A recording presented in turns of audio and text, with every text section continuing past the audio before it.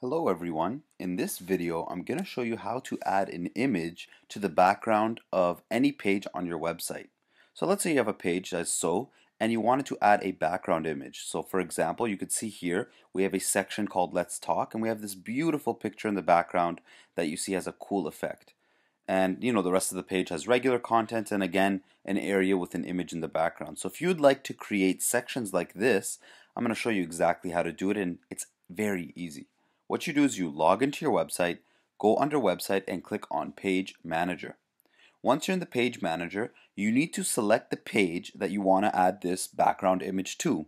So for this example, I'm just going to pick any page. Right here, I'm going to go to the buying page. Now in the buying page, you'll notice that we have no content. So in this video, I'm just going to add content to show you what I would do to add a background image. So let's say I make a section and I make it 100% and I add some text.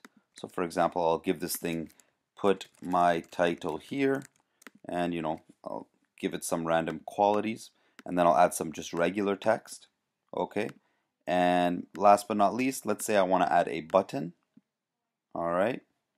Now, I've added all three elements and let's say I now want to add a background image.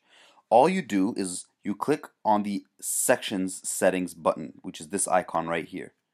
Once you click on it you'll notice there's an option here for a section background. You have color, image and video. So in this example we're going to click on image. Right away you could drag and drop or upload an image. So for this example I'm going to upload one of the images on my computer. Now the image is being uploaded and there you go. So I could now start to, if I press save, you'll notice that there is a background image. Now you can actually play around with this image. So if I go back into the settings, you'll notice the image itself has some settings options. So I could choose the opacity.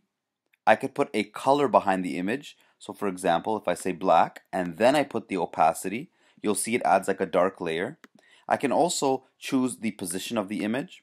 I can also choose how it scales and of course the famous scrolling effect. So I love parallax. Whenever you have an option, I choose parallax. And then I press save.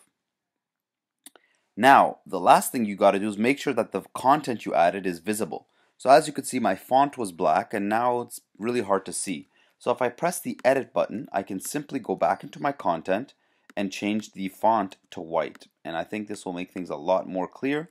If I save, it's looking good. I'm going to add a couple margins. So again, if I go into the section settings, I can actually add margins at top and bottom. So let's say I add 50 pixels at the top, 50 pixels at the bottom. I hit save.